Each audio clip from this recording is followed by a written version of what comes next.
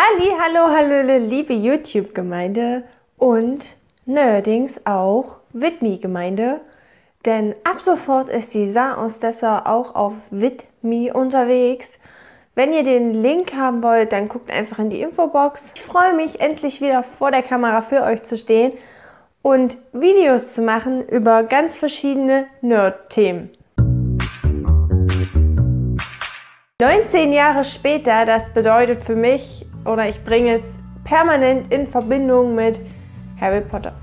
Dieses Jahr, am 1. September, hat Harry seinen Sohn Albus Severus zum ersten Mal zum King's Cross gebracht, um mit dem Hogwarts Express nach Hogwarts zu fahren.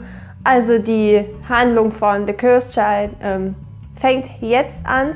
Weil Harry Potter auch wieder in aller Munde ist, habe ich auch mal wieder über Harry Potter nachgedacht und will euch jetzt ein paar Dinge erzählen, die ich jetzt noch mit Harry Potter in Verbindung bringe. Viel Spaß! Als erstes sind es die Komponisten.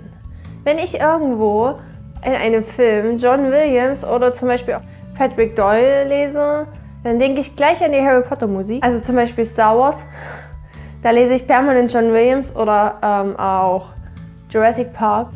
Da muss ich immer an Harry Potter denken. Gastauftritte in Serien oder Filmen. Das sehe ich ganz oft von Potterheads in den Harry Potter Gruppen, dass sie Gastauftritte sehen oder in anderen Filmen und in anderen Serien einfach mal die Schauspieler sehen. Es müssen jetzt nicht unbedingt die Hauptdarsteller sein, sondern auch wirklich nur Nebencharaktere. Zum Beispiel wären das bei mir Walter Frei aus Game of Thrones, Elliot Surdick aus Doctor Who, das ist Michael Gambon in Doctor Who gewesen. Dann haben wir den Doktor, Doctor Who, also der zehnte Doktor.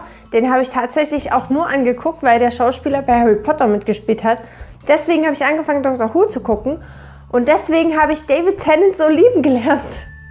Und Jim Broadbent in Moulin Rouge. Oder auch in Game of Thrones spielt er ja auch mit. Meine ganze Jugendweihe, wenn ich daran zurückdenke, generell meine Jugend, meine Kindheit, ist sowieso mit Harry Potter bestückt. Und wenn ich jetzt an meine Jugendweihe denke, denke ich auch an Harry Potter, denn die Frisur war eins zu eins die von Hermine. Die Frisur hatte ich zu meiner Jugendweihe. Ja, auch Kindheitserinnerungen wenn ich in meine Heimat fahre und dort Orte sehe oder Orte vorbeifahre, wo ich damals mit meiner besten Freundin Harry Potter nachgespielt habe, zum Beispiel der Duellierclub, wir hatten eine peitschende Weide, also alles sowas, das bleibt einfach manifestiert hier oben im Köpfchen drin. Und deswegen, ähm, ja, das sind auch ähm, Dinge, die mich immer an Harry Potter erinnern werden oder die ich immer mit Harry Potter in Verbindung bringe. Dann haben wir meine Liebe zu Großbritannien oder generell London oder generell auch Schottland und Irland. Dass ich da mal hin wollte, wollte ich auch nur wegen Harry Potter und ein bisschen wegen Bob der Streuner, aber das kam ja alles danach.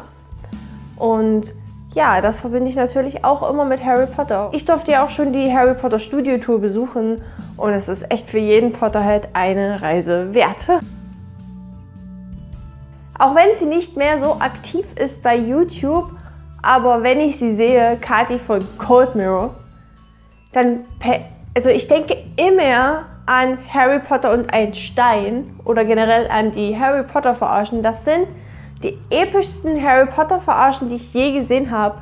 Und das sind Sprüche, wenn du den Potterheads vorwirfst oder auch Leute, die nur die Verarschen kennen. Du lachst einfach nur. Oder wo ich auch immer lachen muss, äh, wenn jetzt irgendeine Verkaufsshow läuft und ich denke permanent an What's Super Duper Shop.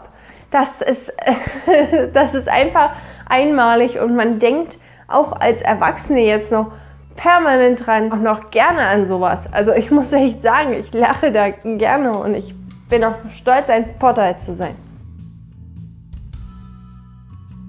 Wenn man im Radio alte Lieder hört, und die mit Harry Potter in Verbindung bringt, weil man damals, als die da rauskamen und bei Viva rauf und runter liefen, die Harry Potter Bücher nebenbei gelesen hat. Ja, das kommt bei mir auch vor. Und ich habe ein bestimmtes Lied, das bringe ich immer mit Harry Potter 7 in Verbindung, weil das Lied lief das erste Mal in Neu bei Viva, als ich Harry Potter 7 gelesen habe und die Stelle als Ron von Harry und Hermine weggeht. Und ich finde Won't Go Home Without You, weil er ja in Hermine verliebt ist und nicht ohne sie gehen würde, so schön passt. Das ganze Lied, ich, das, wenn ich das höre im Radio oder so, dann denke ich immer an Harry Potter 7, an Ron, wenn er geht. Auch jetzt mittlerweile an die Filmszenen, weil es ja schon im Kino kam. Und auch so, wie ich mir das selber vorstelle. Ja. Ähm, echt, das ist Wahnsinn. Oder so generell Lieder von damals, die man hört und dann denkt, oh mein Gott, da habe ich Harry Potter gelesen. Oder in dem Jahr kam auch Harry Potter raus oder so, weißt du? Einfach auch die DVDs, dass man Weihnachten immer mit Harry Potter in Verbindung bringt, weil man früher zu Weihnachten immer die Harry Potter DVDs geschenkt bekommen hat. Oder man ein bisschen vorher schon bei Mama im Schrank war und gewühlt hat und geguckt hat, wo ist meine Harry Potter DVD und ich will sie haben. Ja, das habe ich mit dem fünften Teil gemacht, weil ich den unbedingt haben wollte. Obwohl ich damals den fünften Teil, also der fünfte Teil jetzt an sich, finde ich die schlimmste Verfilmung. Weil wer das Buch gelesen hat, wird, die werden das alle so sehen. Das ist wirklich, da ist weggelassen worden ohne Mass. Ja, okay. Also jetzt habe ich ein bisschen in Harry Potter Erinnerungen geschwellt. Vergesst nicht, mich auf Whitney jetzt zu abonnieren oder mir zu followen.